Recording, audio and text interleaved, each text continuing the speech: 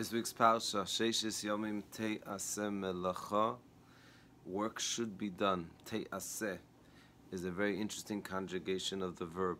It doesn't say Ta'aseh, you should do, it says Te Aseh. So many of the Mefarshim already tell us, because when a person keeps Shabbos, work is done by itself. That means that there's a bracha in the entire week based on what we do on Shabbos. In fact, the Zohar Kodesh says, and some say this before we eat, is that really Shabbos, nothing happened on Shabbos. Even the month didn't fall on Shabbos. Shabbos is a source of the month for the entire week. Shabbos is a source of bracha for the whole week. So if we could focus a little bit on Shmira Shabbos. So we're going to discuss two shilas. One shaila of Zilberstein says is the following, which I've had actually quite often, and I'm so happy to see that he responded in the same, same way. And that is the following. I have a very close caterer, and he always tells me that after the catering, the bar mitzvah, the sheva brachas, whatever it was, on Shabbos Kodesh, a kiddush, and it was set up so beautifully. So whoever the Baal Simcha or the Baal Simcha is very, very excited to get the pictures. Why not? There's pictures that have been taken by the non-Jewish uh, waiters, etc. And therefore, is it okay for him to allow the waiters to give out these pictures?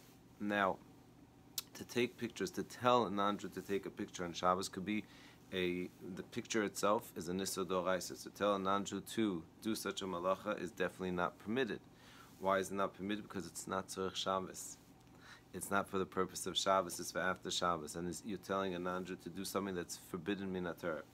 Secondly, and I told this to my my dear friend, I said, the fact that after Shabbos we're taking the pictures of something that was done, malacha, the work that was done Shabbos, it takes away from the kedusha it's something that we could trust. It's something that we could give up. So we don't have the pictures. You know, yeah, it would be beautiful to have the pictures of how beautiful we look in Shabbos. But what it's called is Zilzul Shabbos. I used to actually take lessons, voice lessons, and a little bit of chazanas.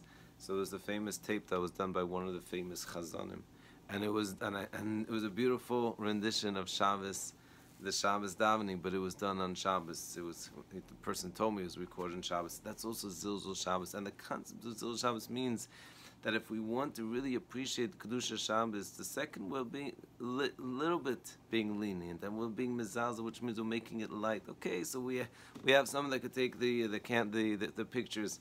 It's not worth it. It takes away from the bracha. Second shaila, fascinating shaila. Ma'aseh Shehaya, this is a story, and we'll leave off with a shaila, and we'll get back to it. There was a person that was supposed to have a bris, Gavaldik.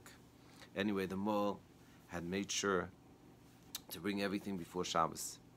Comes into the uh, into the shul, and on Shabbos morning they're ready to do the bris. They notice everything's there except the knife. They can't believe it. They look outside the shul. They see the knife is right outside the shul. They're perplexed. How do you get the knife inside to the shul?